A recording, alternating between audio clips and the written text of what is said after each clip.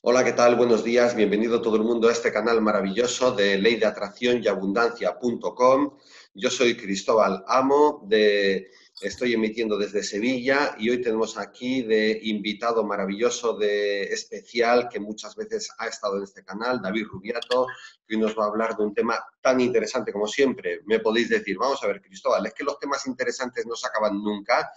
Bueno, pues no, no se acaban nunca. Aquí tenemos carrete para rato. David por su lado, yo por el mío, los dos juntos. Esto es una vida maravillosa, un camino de vida maravillosa en el cual lo único que tenemos que sentir y, hacer es sentir que estamos en transformación continua y cada vez cuando un año mejoramos una cosa, al año siguiente mejoramos otra y al año siguiente otra. Y así para siempre, y para esta vida, y para la siguiente, y para la otra. Ya está, ya os he puesto deberes, parece que soy un maestrillo que pone muchos deberes. Bueno, os voy a dar algunos datos de David Rubiato, como siempre.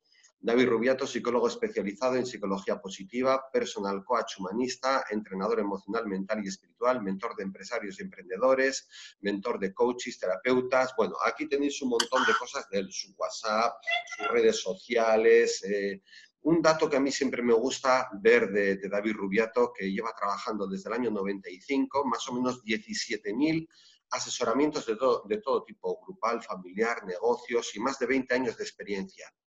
Así que a mí me, encanta todo esto cuando veo tanta experiencia y tanta generosidad acumulada en una persona.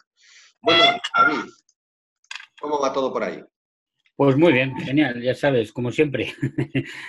todo, en la vida es actitud, no, no es lo que nos pasa, es la actitud ante lo que nos pasa. Y cuando tienes buena actitud, pues como a mí me gusta decirle a mis clientes, el cambio de actitud es el cambio del resultado. Cuando tú cambias la, actitud, cambias enfoque, cambias mentalidad, cambias estrategia de acción, pues cambian los resultados. Es que no tiene más victoria. Así que genial, todo genial.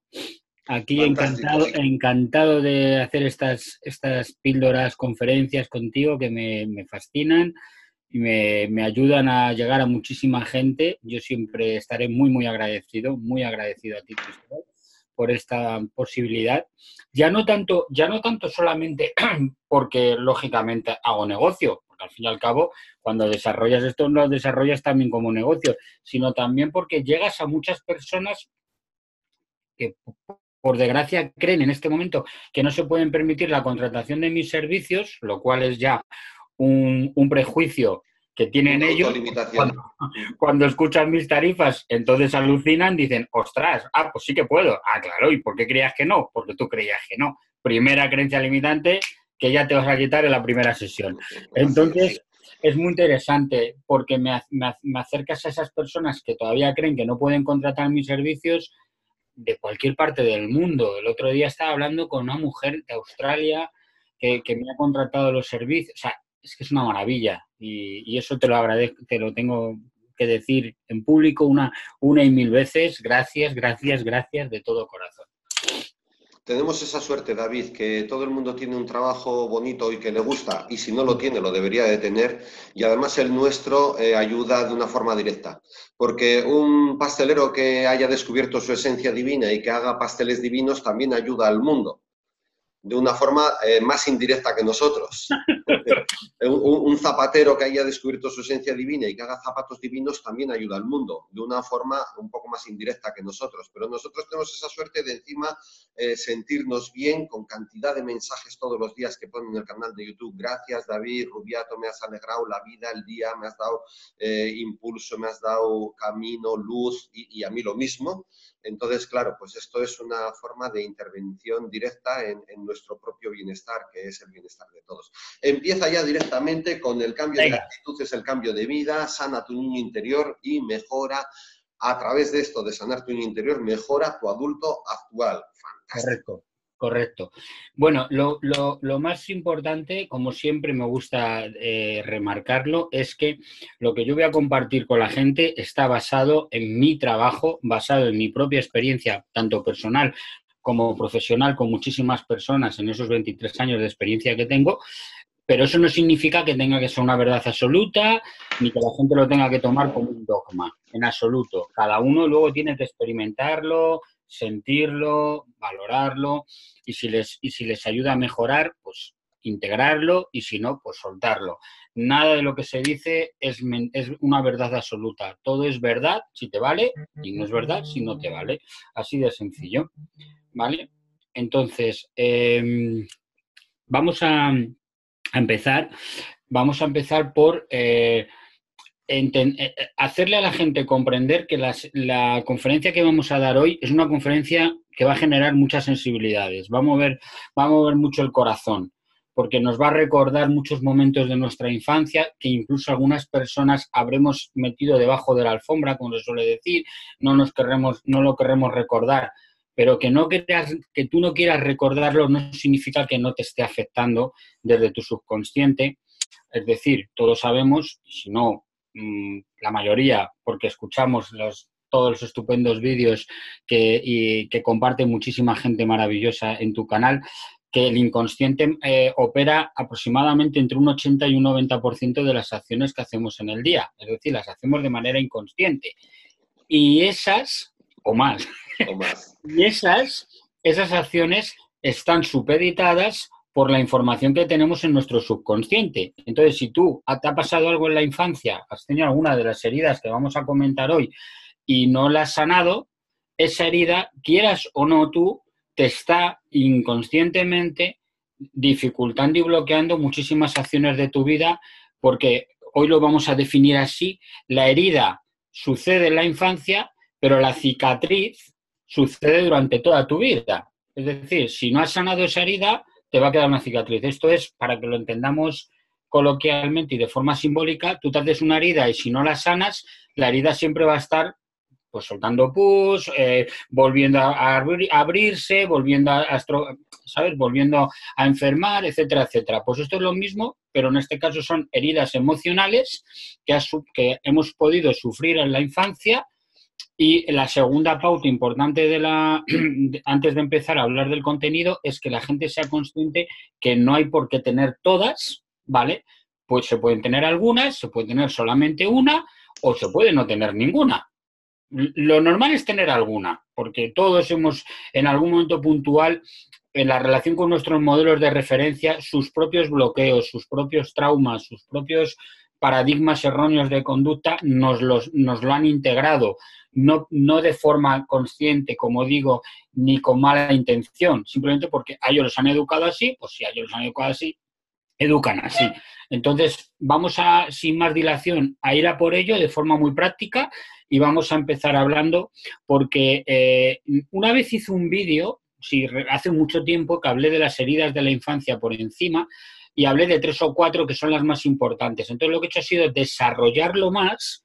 Dije, dije en su momento que lo iba a hacer, iba a desarrollarlo más y hoy he llegado a, a conectar con, esa experiencia personal y profesional, a hacer un trabajo de compilación eh, y, he llegado a desarrollar esas primeras cuatro que hablábamos, cuatro o cinco, depende, son las que generalmente todo el mundo habla. Hoy las voy a llegar a desarrollar en ocho heridas emocionales, es decir, más completo todavía de lo que generalmente vemos por ahí en otros vídeos y tal. Entonces, vamos a ir con la humillación, porque la humillación, que sería, eh, no tienen orden, ¿vale? No, es, no están por orden de importancia, ni por orden de hacer, no. Eh, las tengo que enumerar porque tengo que empezar por alguna, pero son tan importantes una, la primera como la última. Todas son importantes, sanarlas y ser consciente de ellas.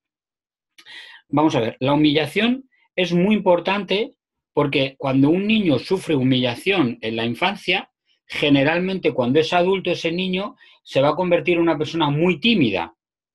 O todo lo contrario, vais a comprobar que muchísimas de las, de las cicatrices que están generadas por una herida emocional eh, nos llevan a los extremos. Es decir, en este caso, o, o te vuelves una persona súper tímida, súper introvertida, o te vuelves una persona súper prepotente una persona que te crees que puedes con todo, que nadie te puede enseñar nada, etcétera, etcétera.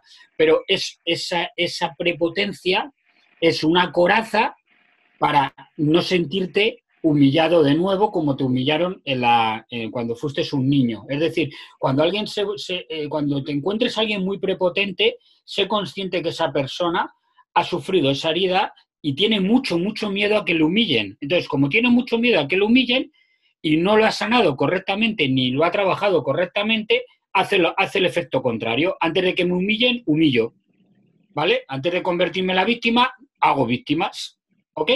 Pero hay que ser consciente que esa persona, si es prepotente o es muy introvertida, ha sufrido en la infancia algún tipo de experiencia de humillación.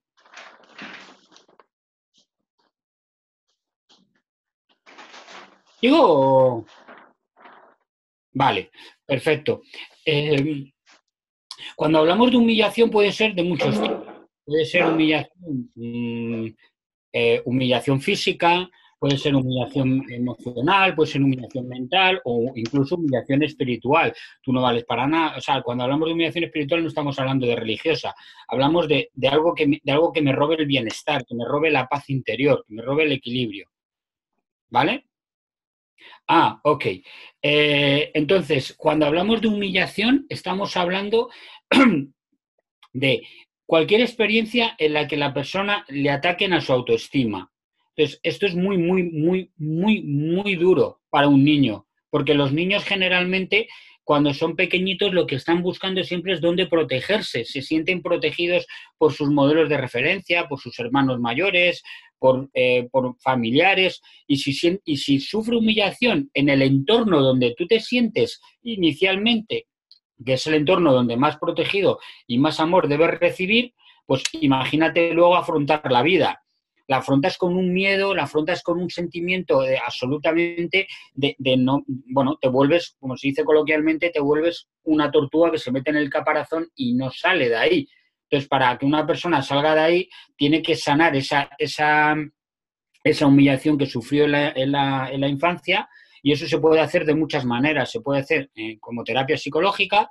Ya sabéis que yo, los que no me conozcáis, soy psicólogo, especializado, o sea, soy, psicólogo positivo holístico, especializado en sanar la relación con el dinero y, con la, y aumentar la autoestima para autoliderar nuestras vidas. Entonces, cuando una persona eh, tiene, tiene, viene a mí viene a, las sesiones, viene a trabajar conmigo en el coaching o en el mentoring y comprobamos que la humillación está muy reconocida porque es muy tímido, porque es muy prepotente, porque no se permite escuchar a los demás, no se permite ser asesorado, etcétera, etcétera, esa persona puede sanar la humillación de muchas maneras. Entonces, conmigo, al ser holístico, que es integrar mente, cuerpo, emoción y espíritu, para quien no conozca este concepto, eh, Podemos trabajarlo a nivel terapia psicológica, pero también lo podemos trabajar a nivel energético, sanando la relación con el niño interior, con un ejercicio súper bonito que Cristóbal lo conoce perfectamente porque ha hablado de él incluso en algunos vídeos, ¿vale? O puedes incluso sanarlo a nivel físico, porque puedes eh, sanar también mediante un aprendizaje que se llama el aprendizaje vicario, que es ver cómo otras personas trabajan con los niños para tú también hacerlo de forma indirecta. Es decir, puedes generar un aprendizaje a través del espejo, es decir, empiezas tú a tratar mejor a los niños de tu entorno y entonces empiezas de forma cuántica también a generarte a ti mismo una sanación sobre tu propio, el niño que fuiste. Hay muchas, hay muchas técnicas, visualización creativa para trabajar eh, el, ir a ese momento de la humillación y trabajar ese momento de la humillación con mucho amor, con mucho respeto, con mucha valoración. Pero todo, todo conlleva inicialmente trabajar la autoestima del adulto para comprender cuáles son las heridas que le están afectando y de qué manera le están afectando en su vida como adulto. Vamos con el segundo. Ausencia de los padres. ¿Cuántos niños, por desgracia, han, han sentido la ausencia de sus padres de muchas maneras. Puede ser física o puede ser tan simplemente psicológica, es decir, física es que no están, ¿vale? Pero también pueden estar y no estar. Hay padres que no, no han sabido ser padres, eh, fueron padres biológicamente hablando, pero no han sabido ser padres psicológicamente, no han sabido cómo afrontar la situación, ellos mismos incluso a su vez lo han podido sufrir y, o, han, o han tenido un modelo de cómo educar a sus hijos como lo han educado a ellos que no es correcto. Entonces la ausencia de un padre puede generar a esa persona, le pueden generar problemas, ¿vale? para entablar relaciones duraderas. Es decir, constantemente la, sensación de que no está mi modelo de referencia conmigo cuando era un niño puede convertir en un adulto inestable. Estos adultos que, los que, eh, estos hombres, sobre todo hombres, pero también cada vez hay más, hay, más generalización también con la mujer, también se va a la mujer. Em, el tema de, eh, de, de flor en flor, ¿no? Que, que saltan de una relación a otra. No, no, no son capaces de, quedarse en una relación porque en el momento que se quedan en una relación empiezan a reconocer una serie de habilidades, una serie de actitudes que no saben, no, han tenido un modelo. Entonces no, comprenden, eh, como no han tenido un padre o una madre que les haya enseñado ciertas conductas que son necesarias para desarrollar una relación como hombre o como mujer en una relación de pareja, pues en el momento que ve un poquito de... perdón, en el momento que ve un poquito de conflicto, un poquito de eh, compromiso, un poquito de me tengo que, em, tengo que dejar de pensar en mí y ser menos egoísta, tal y cual, ¡pum! Se van salen, se van a otra relación y van de flor en flor. Entonces son lo que se llaman personajes enamoradizos, ¿no? Son el amante este que es maravilloso, estupendo, genial, y cuando tiene a la persona totalmente enganchada y, quiere empezar una relación seria, elige empezar una relación seria, ellos vuelan, ¿vale? Por lo tanto, eh, no pensemos, si nos hemos encontrado personas así, no pensemos si tú has sido el que, al que has, sido afectado por ese tipo de relaciones, no pensemos que son malas personas, no son malas personas. Nadie que sufra estas, cicatrices en la edad adulta es una mala persona, es una persona herida, es una persona que no sabe lo que ha sucedido, no lo entiende. Eh, yo me he encontrado clientes que me han llegado y me han dicho, David, si yo quiero tener una relación, pero es que no sé, huyo. O sea, la primera de cambio que, empieza la relación a, de alguna forma a sentarse, es como que me salen, me, salen cohetes a los pies y me voy y no y me quiero quedar, pero no, no, no me quedo, no me quedo. Y no entiendo por qué. Pues es, es, por esto, ¿vale? Puede, puede ser por esto. Es una de las, de las eh, situaciones que lo pueden explicar. Tercera, tercera herida. La tercera herida, que también es muy, muy generalizada, es la de la injusticia. ¿Vale? Cuando un niño sufre mucha ha sufrido injusticia en su vida, en su vida infantil, cuando, pues yo qué sé, porque tiene más hermanos y siempre los padres le dicen, no, es que tú ya eres el mayor, tú ya no, tú ya no tienes derecho a esto, tú ya se acabó, ya te toca no sé qué. Entonces, cuando el niño se siente que hay injusticia porque, porque ve que a otro niño en el mismo entorno le tratan de una manera, ya le tratan de otra, eso genera que se vuelvan autoritarios cuando son adultos. Es decir, cuando una persona se vuelve autoritaria es porque ha sufrido esa injusticia, es decir, no se le ha explicado, no se le ha explicado pues circunstancias que, que los padres tienen que afrontarlas de una manera.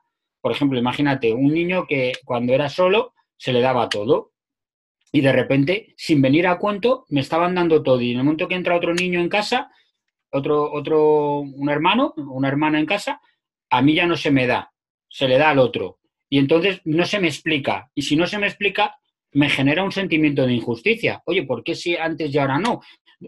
hay que explicárselo. Y si no se lo explicas, se vuelven autoritarios porque eh, entienden que al ser autoritario, al ser mandón, al ser el que ordena, no te pueden volver a robar, no te pueden quitar nada, porque eres tú el que estás mandando.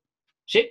pero es un autoritarismo doloroso, no es un autoritarismo positivo, porque si fuera una persona que toma autoridad sobre su propia vida para liderarla, pero no para hacer daño a otro, o no porque se compara con los demás, o no porque tiene, eh, tiene miedo a, o porque necesita, no, cuando es un liderazgo, eh, con un liderazgo consciente, no tienes la necesidad de, de superar a los demás, es autosuperación.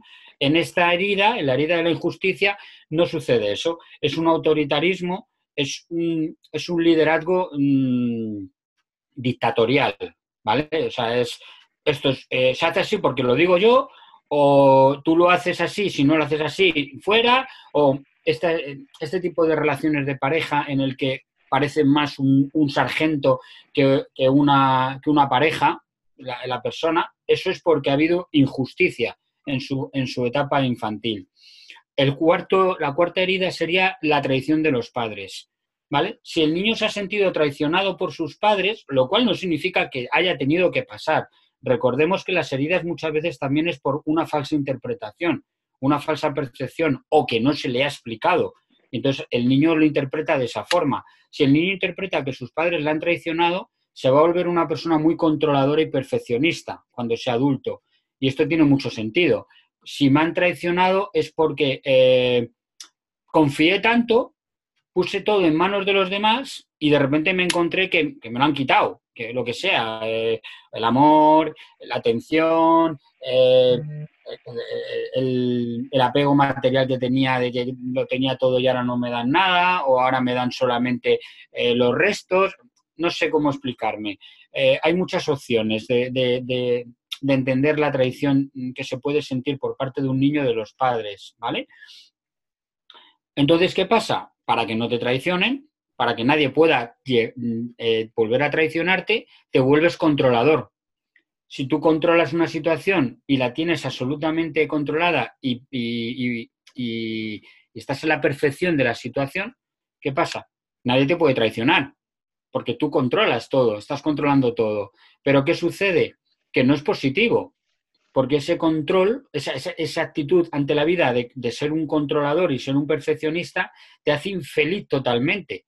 Eres una persona que no vas a tener paz, porque siempre vas a tener, siempre vas a estar constantemente analizándolo todo, comprobando que está todo bien, estando todo el rato en, buscando la perfección y como la perfección, ya sabemos, Cristóbal, que no existe, la perfección no existe, es, es absolutamente mm, una percepción subjetiva de, la mente humana, pues ¿qué sucede? Pues que esa persona no va a ser feliz nunca, porque aunque lo tenga todo perfecto, va a haber, va a haber algo, va a haber algo que va a fallar estas personas son capaces, les pones delante de una pared, a lo mejor de, yo qué sé, de 20 metros, y hay una manchita en la pared y, ah, enseguida ve la mancha, no, no ve la belleza de la pared, ve la mancha que hay en la pared, ¿vale?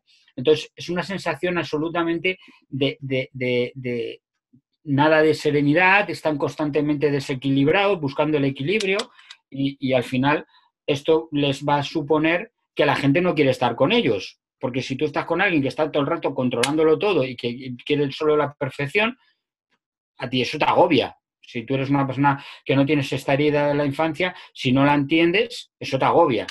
Entonces, si, tenéis a alguien en vuestra vida que sea muy controlador, muy perfeccionista, por favor, eh, con mucho cariño, con mucho amor, preguntarle en su infancia, hablar con él, a ver si eh, eh, fue en su momento o sintió que fue traicionado y por ahí podemos empezar a trabajar la confianza, el amor, la atención, para que esa persona no mm, suelte, ¿no?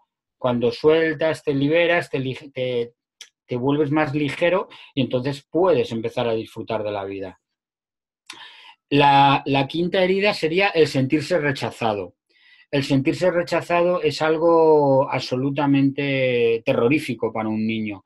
Entonces, por favor, a los niños hay que, hay que hablarlos con mucho amor, con mucho cariño, hay que utilizar palabras absolutamente de, que les den seguridad, que les hagan sentirse amados y, no por, no dar las cosas por hecho. Hombre, si es mi hijo, ¿cómo no le voy a amar? No, no, díselo, porque los niños requieren escucharlo. Igual que un animal requiere que le acaricies, no vale con que digas, no, no, si el animal sabe que. No, si no acaricias a un animal, un animal, si no recibe caricias, se puede llegar a morir por soledad, por sentimiento de, que no me aman, y se puede llegar a enfermar un animal.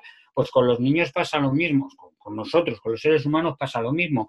Lo que pasa que nosotros tenemos un mecanismo de autoengaño y un mecanismo de, protección, de autoprotección durísimo, brutal en el ego, ¿vale? en la mente en, nuestra mente mono, ¿no? En, el ego mente. Entonces, ¿qué pasa?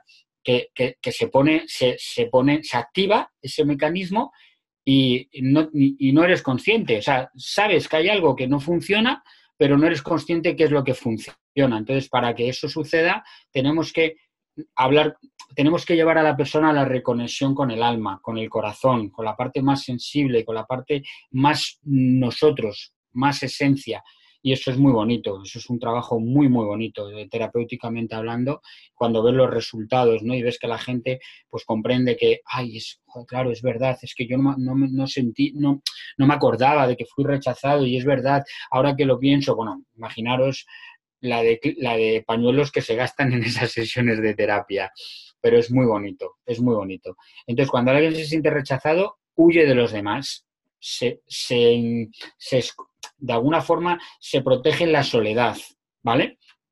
¿Por qué huye de los demás? Porque si huyes de los, si no hay nadie, nadie te puede rechazar. E, es, es, un mecanismo totalmente erróneo, es un mecanismo absolutamente eh, nada, inadaptativo total, inadaptativo total, pero mientras a la persona ella crea que le está sirviendo para sentirse mejor porque nadie le está rechazando, pues cada vez se va, cada vez se va más y más em, a, resguardarse en una soledad errónea.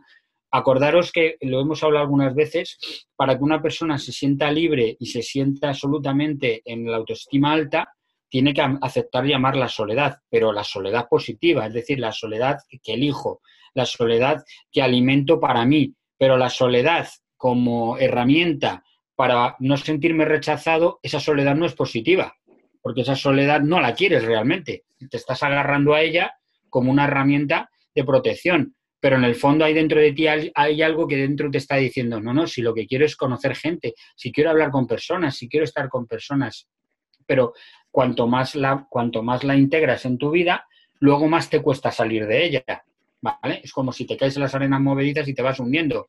Cuanto más te hundes, más te va a costar salir de las arenas movedizas. Pues esto es lo mismo. Eh, sexto, sexta herida, anular las emociones. Si a un niño se le anulan las emociones, niño, ¿qué haces? Que llorar no es de niños, por ejemplo. O niña, ¿qué haces? Las niñas no, hacen esas cosas, eso es de niños, ¿vale? E, este tipo de, situaciones. O, eh, vale, vale, ya, ya, ya, ya, basta, basta ya de darme, de darme abrazos, por ejemplo o cosas por el estilo. O un niño no es tan cariñoso, los niños son más juguetones y no sé qué. O las niñas no son tan competitivas ni son deportivas, son más de estar con mamá en la cocina. Tonterías así. Pero le anulas las emociones que le salen por esencia al niño, ese niño se va a volver cuando sea adulto una persona muy fría o muy impulsiva. Otra vez nos volvemos a encontrar una herida que va a tener una cicatriz que nos va a llevar a los extremos. O te vuelves muy frío, es decir, como no anula las emociones, no, no las identificas, no sabes identificar el amor cuando no te han enseñado qué es el amor. Es de, es de cajón. Por ejemplo, una persona maltratadora les pasa mucho esto. Es decir, las personas maltratadoras, por el contrario de lo que la gente cree, son personas con un trabajo de amor muy grande. O sea, les falta muchísimo amor o tienen muchas ganas de dar amor, pero no saben cómo darlo. Entonces es como un elefante en una cacharrería, o sea, eh, eh, en una chatarra, en un sitio con, lleno de, cacharros, ¿no? O sea, entra ahí a lo bestia. Entonces, claro, como no tiene una gestión emocional correcta, no sabe cómo decirle a la persona que la ama. Entonces, ¿qué hace? La impulsividad que, que, le, que lleva de muy frío a llegar a tener una necesidad absoluta y porque esa persona esté con él y como no sabe gestionar eso correctamente, no son asertivos, no saben cómo eh, comunicar con unas habilidades sociales correctas, pues, eh, pues, pues pegan una bofetada, eh, llegan a los extremos de, considerar que una persona es suya en propiedad, etcétera, etcétera. Pero es por eso, porque no han sido gestión, no han tenido una gestión emocional cuando eran niños o porque les han enseñado a que el amor está asociado a la pelea, o sea, a pegar. Es decir, tú si amas a una persona, por ejemplo, si tu padre te pega o tu madre te pega, tú tienes ese modelo de referencia como alguien que te ama. Luego podrás, mm, cuando, cuando vas eh, desarrollándote como adulto, podrás ir comprendiendo que eso no es así si te apoyas en un terapeuta, si te apoyas en, un psicólogo o eres muy autodidacta y empiezas a investigar, ¿vale? Todo eso puede suceder. Pero al principio, cuando el niño es pequeño, sus modelos de referencia, como le traten, es como él integra que tiene que hacerlo. Entonces, si mi papá me pega y luego viene y me da un abrazo y me dice, perdóname, te amo mucho, yo identifico que pegar está relacionado con amar a una persona. Entonces, cuando yo salgo a la vida, si soy, si soy el que busca la pareja, la voy a buscar con esa energía. Y si soy la que, eh, la que está recepcionando, la persona que está recibiendo esa relación y ha vivido en esa relación, no va a entender que un hombre o una mujer le ame y le respete y que no le pegue. Necesita que le pegue. Fijaros que si es mm, un mecanismo absolutamente perverso, pero es así. O sea, si, me han pegado y luego me han dicho te amo, si me dicen solo te amo y no me pegan, yo no lo asocio a eso al amor. ¿Comprendéis?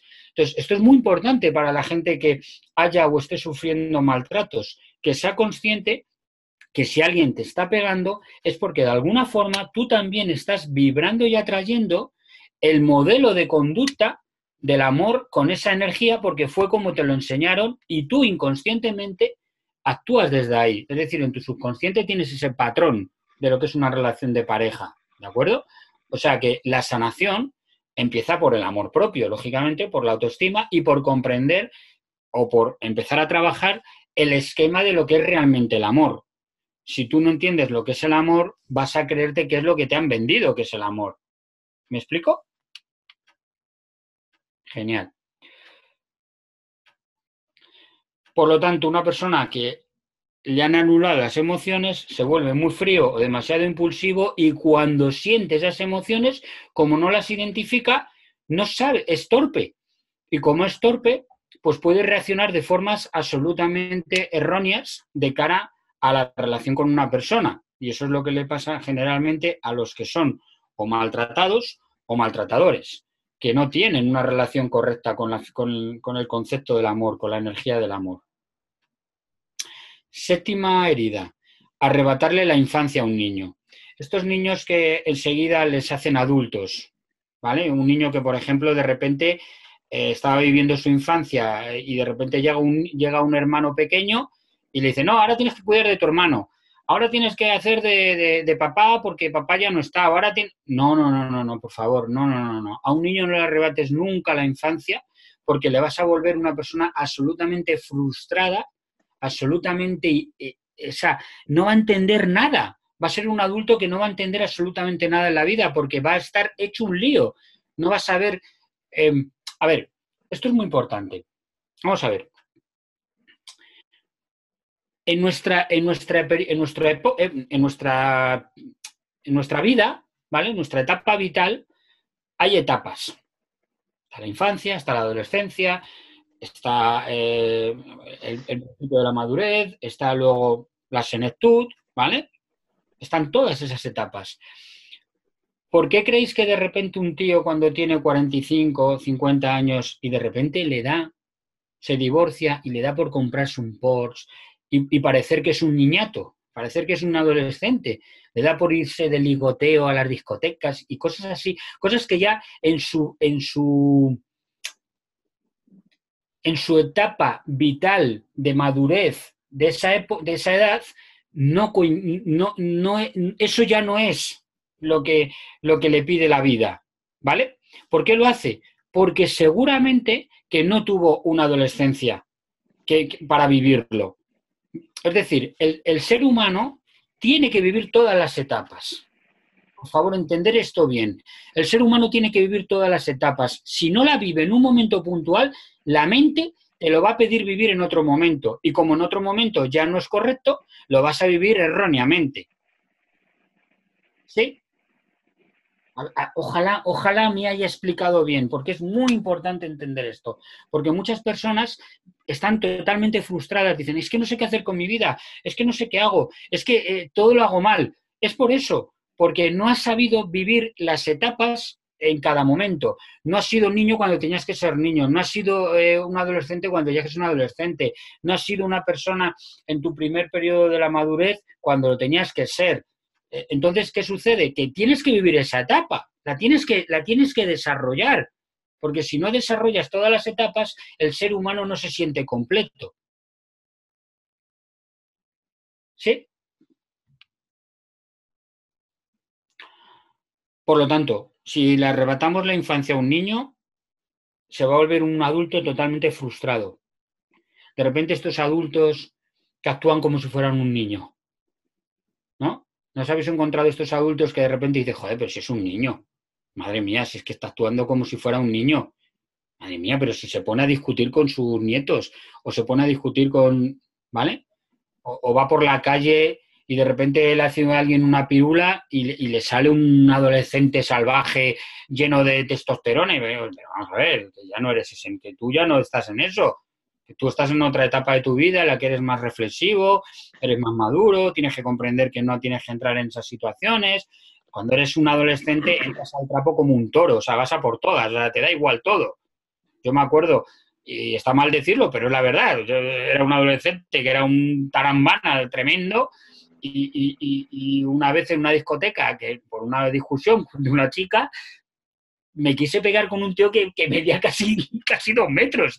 Y yo decía, me va a matar. Pero eso lo pensé en mi casa. Pero cuando yo estaba en ese momento, impulsivo, ahí con la lleno de, testosterona, me vi cogido de la pechera del tío y del... O sea, cosas que no tienen sentido. O cuando, o cuando te encuentras un adulto que quiere jugar de nuevo a, vivir la vida como, no la ha vivido cuando era adolescente. Por ejemplo, de repente te encuentras a alguien que ya tiene cierta edad y dices, bueno, pero ¿qué viene a hacer esas actividades? esas actividades ya no van contigo, esas actividades son cuando tenías veintitantos años, que podías, que era más flexible, lo que sea. No sé, entenderme que estoy generalizando, porque luego, por supuesto, si es una persona deportiva y que siempre se ha cuidado y perfectamente puede tener 50, 60 años y hacer cosas que no hace un tío de 30 años, porque los hay, hay gente que es así. Pero, va, pero entonces esa persona ha, ha trabajado sus etapas correctamente, pero las mantiene. Eso no pasa nada, eso está bien. El tema es cuando no las has vivido. Hay un ejemplo muy concreto que lo vais a entender muy bien. Con este ejemplo lo vais a entender muy bien. Estaba pensando, ¿cómo puedo poner un ejemplo para que llegue a la gente lo que estoy diciendo? Esta persona que a los 14 años tiene una pareja y se tira toda la vida, toda la, toda la adolescencia y parte de la madurez con esa persona. Y de repente a los 35 años se separa. Y en ese momento se vuelve loco y no hace más que ligar con, tías o con tíos, si es chica, chico o lo que sea, a mí me da igual, eso ya, cada uno en sus preferencias sexuales, pero se vuelve loco. Sea, todo lo que no ha vivido cuando eres un adolescente, que es tontear, conocer gente, jugar con gente, ¿vale? Experimentar, lo hace a los 35 años porque no lo hizo entre los 14 y los 25, por ejemplo, más o menos, no entenderme, eh, por fechas, por edades y tal. Entonces, de repente, a los 35 años se empieza a hacer cosas sin sentido, o sea, cosas que dices, pero ¿qué haces, tío? Eh, asiéntate, sienta la cabeza, ¿no? Este, este, esta expresión tan, eh, tan repetitiva, ¿no? En algunas personas, oye, tío, sienta la cabeza, que estás, se te está yendo la cabeza, ¿qué estás haciendo? ¿No?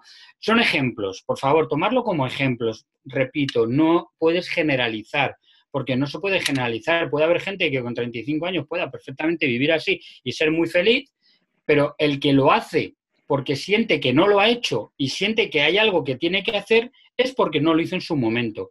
Y esas personas van a estar frustradas. porque Porque al, hacerlo, al hacerlo, al acabar de hacerlo, es decir, cuando vuelve a casa, por ejemplo, a las 8 de la mañana, después de estar todo el día de juerga, con 35, 37, 38 años, se sienta en el sofá y dice, madre mía, pero ¿a qué viene esto? Pero de verdad que una resaca que tengo, pero yo estoy tonto, pero ese, ese es el que, al que se le arrebató la infancia.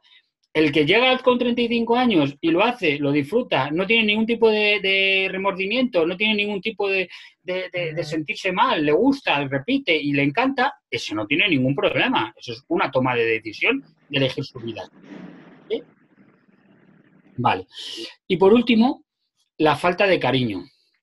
La falta de cariño para mí yo creo que es uno de los más importantes, todos son importantes, repito, pero para mí yo creo que es uno de los más importantes, porque si a un niño no se le da cariño, ese niño no, no, va a ser empático ni va, ni va a sentir compasión por el mundo. Es decir, un niño al que no se le educa en el amor y no se le educa en el cariño y en el respeto, ¿cómo quieres que sea de mayor un hombre o una mujer amorosa, respetuosa, compasiva, empática? No le han enseñado no es que él diga, joder, esta persona como es, no, es que no le han enseñado, no le han enseñado, no le han educado en, esa, en, ese, en esos valores. Entonces, ¿cómo va? Es como si, no sé, eh, toda mi vida me hablan en español y de repente me mandan a China. Pues lo llevo crudo, no me voy a poder comunicar con nadie. Pues esto le pasa a esta gente. ¿Cómo se van a comunicar en, el lenguaje del amor, de la empatía, de la compasión, del cariño, si nadie se lo enseñó? Si os dais cuenta, muchas de las heridas eh, pueden, pueden estar concatenadas, es decir, pueden estar unidas, pueden estar vinculadas. Puede haber una persona que no le han, no, le han, anulado las emociones, por lo tanto, si le han anulado las emociones, no le han dado cariño, porque en casa son personas que no son cariñosas, entonces no ha entendido lo que es el amor, y como no ha entendido lo que es el amor, se ha vuelto una persona muy autoritaria, y se ha vuelto, por, al ser muy autoritario, se ha vuelto una persona absolutamente eh, que ha tomado la decisión de, retirarse del mundo, porque solo recibe, eh, porque solo recibe eh, acciones Em, mal comprendidas por los demás. Una relación, pero puede haber muchas más. O sea, las combinaciones son mm, muchísimas. Lo importante es entender y ser y, percibir y comprender y ser consciente de, de, que estas ocho heridas emocionales, si os dais cuenta, cuando lo reviséis, explican casi todos los conflictos y los traumas que tiene la gente en el mundo, a nivel intra y a nivel interpersonal. Por eso es tan importante eh, dedicarnos, los terapeutas como Cristóbal, como yo y muchos más compañeros, a ayudar a que la gente recupere la autoestima, a que vuelvan a amarse, a que elijan ser felices, a que comprendan que no vas a ser más feliz porque compitas con los demás y superes a los demás, que, eh, que la vida no es cuestión de tener por tener, que hay que, hay que alimentar al ser, alimentar a nuestra esencia, alimentar nuestra misión, alimentar lo que puedo compartir y darle al mundo. O sea, es que hay tantas cosas bonitas para hacer y, y, dejas de hacerlas porque no tienes las habilidades, no tienes los recursos y por ti mismo no sabes llegar a ellos, que, pues que, hace que nuestra, que hace que nuestra profesión, ¿no? Que hace que nuestra decisión, nuestra misión de vida se vuelva absolutamente maravillosa, ¿no? Y, preciosa, ¿no? Llena de, buenas, de buenos y maravillosos momentos, ¿no? Y bueno, pues esto es un poquito lo que yo quería comentar hoy para que no extenderme mucho. Por supuesto, todo el mundo ya sabe que todos los, todas las personas que ven el canal YouTube de, Cristóbal, si nunca la han, disfrutado, tienen una sesión 100% gratuita, una sesión de descubrimiento conmigo, que se puede realizar en cualquier parte del mundo porque la vamos a realizar por este mismo medio que estamos aquí haciendo esta conferencia, vía Zoom, vía Skype, videollamada de Facebook, videollamada de WhatsApp. No es necesario estar en la misma ciudad que estoy yo. Ahora mismo hay clientes repartidos por todo el mundo, en Estados Unidos, Canadá, Australia, Tailandia, Nigeria, eh, Latinoamérica, muchos países de Latinoamérica, en Europa, por supuesto, por supuesto en Madrid y en el resto de España y, todos están encantados de hacerlo de esa manera. Es más, muchos me dijeron, David, he descubierto lo mejor de lo mejor, porque estoy tranquilamente en mi oficina, no tengo que desplazarme, no tengo que sacar tiempo, en un momento de descanso entre jornada y jornada lo hago en mi casa sentado, relajado, o sea, es maravilloso. Entonces recuerdo, recuerdo lo que siempre digo, Sesión de descubrimiento que está valorada en 100 euros sin ningún tipo de compromiso. No penséis que es una estrategia marketingiana, no lo es. Hay gente que hace la sesión y al acabar la sesión me dice, David, me encanta, vibro contigo, elijo contratar alguno de tus servicios. Otros me dicen, no, no pasa nada. Otros me dicen, más adelante, y, y sucede. Otros me dicen, más adelante, y no aparecen. Da igual nadie se va a sentir aquí ni juzgado, ni criticado, ni manipulado, ni nada por el estilo por mi parte. Voy a, voy a disfrutar de la sesión como regalo, como forma de compartir parte de lo que el universo me entrega todos los días con todos vosotros. Y luego, si alguien que ya me conoce no lo sabe, también tengo una promoción que es una sesión de coaching más mi libro por tan solo 19 euros, 19,76, ¿vale? Lo puedes comprar por Amazon o me lo puedes comprar por vía transferencia bancaria si lo prefieres, vía PayPal, como tú quieras. Así de sencillo. Eh, mm, sesión gratuita o, he ampliado la del libro, el, libro, con dos.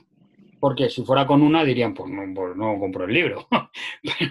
pero, como son dos, ya la gratuita la puedes, la puedes de alguna forma eh, completarla con el libro. El libro, para los que no lo sepáis, se llama Para vivir. ¿Cómo se llama? Para vivir bien no es necesario ir al Tíbet. Eso es, para ser feliz y vivir en paz. Para ser feliz. Al Tíbet, ¿Vale? Un libro muy práctico, que a todo el mundo que lo compra le encanta. Y no lo digo yo, lo dicen ellos. Yo, lógicamente, yo que voy a hablar de mi libro, como dice Paco Umbral, ¿yo vengo aquí a hablar de mi libro? Pues no, vengo a hablar de otras cosas como acabamos de hacer. Recuerdo mis datos, por si alguien quiere contactar conmigo, por favor, siempre vía WhatsApp, el más 34 629 72 18 49, más 34 629 72 18 49. O si no, me podéis buscar por el Facebook, LinkedIn o Instagram, por David Rubiato. Y siempre eh, tengo dos perfiles. El perfil que está en mi cara es el perfil que estoy activamente trabajando. ¿De acuerdo?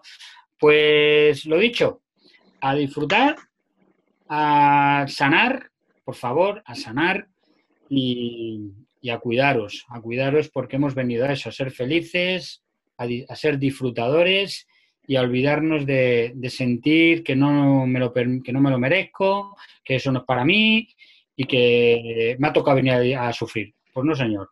Eso ya es una creencia limitante y que nos la tenemos que quitar ya de cabeza. Muchas gracias, David, por eh, tu generosa participación en la información al mundo. Muchas gracias por hacernos ver que muchas veces los problemas que tenemos de adulto corresponden con heridas infantiles. Estas heridas infantiles, tal y como has dicho, pueden ser reales o pueden ser una falsa interpretación que hace el niño de creerse que. estas heridas infantiles tienen que ver con el abandono, la desprotección, la ausencia de los padres, la humillación, la injusticia, sentirse traicionado, rechazado, anulado, porque no has vivido tu infancia o tu juventud de la forma adecuada, porque no has tenido suficiente cariño.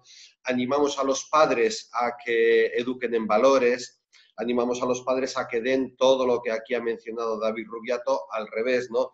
A que les faciliten amor, cariño, justicia, aceptación, que les enseñen inteligencia emocional, que les den amor continuamente, demostraciones de amor y de cariño, besos y abrazos, que les enseñen autoestima, eh, espiritualidad, agradecimiento. Todo esto va a permitir un mundo mejor. Y ya sabéis que yo, como habitante de este mundo, soy terriblemente egoísta quiero que haya un mundo mejor porque es el mundo que habito. Así que a mí me da igual salir a la calle de una forma o de otra, pero es mucho mejor salir a la calle cuando todo es más maravilloso. ¿no? Que no es tan maravilloso y hay que salir con el casco de, obras porque hay obras por todas partes, bueno, pues se sale. Pero es mejor salir a disfrutar. Muchas gracias, David. Ha sido un placer tenerte aquí, como siempre. Sí. Como siempre, cuando, cuando te escucho, me inspiras. se te ocurren cosas. Sí, te lo digo de corazón, me inspiras. Se me acaba de ocurrir una cosa. Sí. A los que nos estén escuchando, que sean papás, ahora ya depende de vosotros si vais a ser sinceros o, cualquiera va a venir y me va a decir que papá, porque yo no le voy a pedir ni el carné ni nada, pero si sois sinceros con vosotros y lo hacéis de corazón, los que seáis papás, recordar que los padres somos el modelo de nuestros hijos, ¿vale?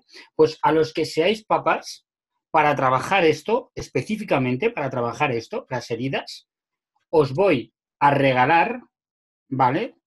Una sesión de careo, es decir, papá y mamá, papá y mamá, si los niños son en edades que pueden estar conscientes en la sesión, perfecto, que también estén, pero sobre todo papá y mamá, por el mismo precio. Es decir, si contratan mi servicio, por ejemplo, mi paquete de cuatro sesiones de 100 euros, ¿vale? Perdón, de tres sesiones de 100 euros, lo contratan, no es para uno o para otro. Los dos juntos vamos a poder trabajar todo lo que sientan ellos que no están sabiendo comunicar a sus hijos, que les está costando, lo que sea. cualquiera de los paquetes que tengo, el de, el, de, 3, el de 6, el de 8, el de 12, van a ser un 2 por 1 para trabajarlo con ese objetivo, con el objetivo de ser un modelo de referencia de excelencia para sus hijos. Muy bien, fantástica oferta. Desde luego, siempre que vienes por aquí, hacer regalos. Así que un placer doble, escucharte y recibir tus regalos. Genial. Muy bien, David. Pues nada, eh, yo lo mismo de siempre, decirte gracias, gracias, gracias. Encantado de hacer esto contigo. Eh, últimamente no lo hacemos con tanta asiduidad como nos gustaría, por lo menos a mí, y, es porque, gracias a Dios, pues estoy empezando a, tener un volumen de clientes que se mantiene. Ya estoy cerca del 88% de porcentaje de referidos, o sea, de gente que me refiere gente, y eso, entre muchas cosas, te lo debo a ti, porque tu canal me ayuda muchísimo a, llegar a la gente y permitirme poder dar estos precios tan accesibles, ¿no? Como este paquete de tres sesiones 100 euros, porque al tener un volumen de mucha gente, me puedo permitir hacer esto, ¿no? Y eso para mí es un placer, es maravilloso. Este es un canal con mucho amor, y tú eres una persona muy generosa y tienes unos precios estupendos porque ya llevas 20 años haciendo esto y ya te salen las sesiones tan fácilmente que puedes decir, venga, pues voy a hacer un precio estupendo porque no me lleva esfuerzo, lo disfruto y ahora ya puedo dedicarme a mucho más gente. Un placer, David. Un abrazo muy grande. Hasta pronto. Gracias. Vuelve pronto por aquí. Adiós, adiós, adiós.